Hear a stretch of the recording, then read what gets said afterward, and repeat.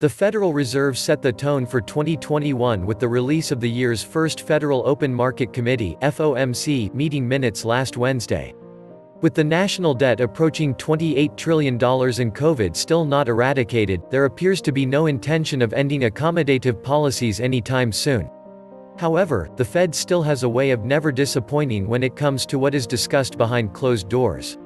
As the minutes reveal, they found the emergence of a narrow Democratic majority in the Senate bolstered investor expectations for additional fiscal stimulus, prompting upward revisions to forecasts for economic growth this year. This logic naively assumes a Republican-controlled Senate wouldn't have the same or similar, additional fiscal stimulus as the Democrats. It also assumes fiscal stimulus leads to economic growth. Should we continue along this train of thought, we may conclude that any Senate that favors perpetual fiscal stimulus is best since it creates perpetual growth. We also see the usual Fed speak, surprising only in its inventiveness. The committee's employment and inflation objectives are generally complementary. However, under circumstances in which the committee judges that the objectives are not complementary. This is difficult because it falls back to the idea of a trade-off between inflation and unemployment. Of course, the problem with this theory is that sometimes it works and sometimes it doesn't. How such an inconsistent theory can ever be relied upon, much less used as a planning tool to form the Fed's primary mandate, remains a mystery. And for those unaware, the Fed undertakes desk surveys ahead of its FOMC meetings. The surveys are carried out by the New York Fed, they ask a variety of primary dealers, i.e., those firms able to trade directly with the Fed, questions. Then, a survey is conducted with market participants, comprised of institutional investment firms. According to their expert opinion, the desk survey results indicated that a majority of market participants anticipated that the pace of net asset purchases would remain stable for the remainder of the year and slow around the first quarter of 2022. According to plan, the Fed will continue its $120 billion of asset purchases for 12 more months, meaning we can expect at least an extra $1.44 trillion of U.S. Treasuries and mortgage-backed securities added to the balance sheet a year from now. This assumes there will be no more additional fiscal stimulus packages or any surprises which warrant the Fed to take on more forceful actions.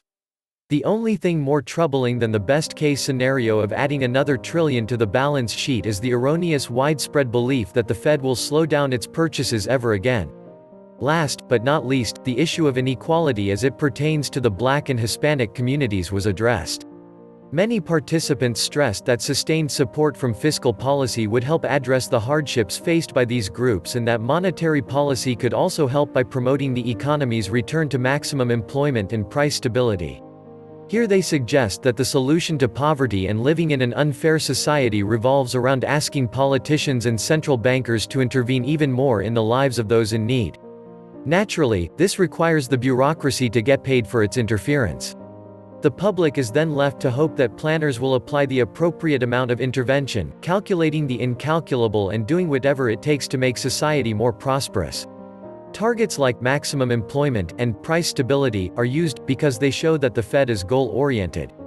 The Fed will claim to fight racial inequality through their support, but their support can only amount to increasing the supply of money and credit, and deciding who gets access to this new money first. If these money creation schemes actually work, one would think the Fed's goals would have been met by now. Can we really trust that by Q2 2022, as the survey says, the expansion will slow once the Fed finally hits its targets? What the FOMC meeting ultimately fails to recognize is that by the time we get to March 2022 the only things to change will be the size of the Fed's balance sheet, the money supply, and the increase in hardships faced by the very same groups the Fed is trying to help. This was the Nomad Economist. Please like, share, leave me a comment, subscribe. And please take some time to subscribe to my backup channels, I do upload videos there too. You'll find the links in the description box. You will also find a PayPal link if you want to make a donation. Thank you wholeheartedly to all those of you who have already donated. Stay safe and healthy friends.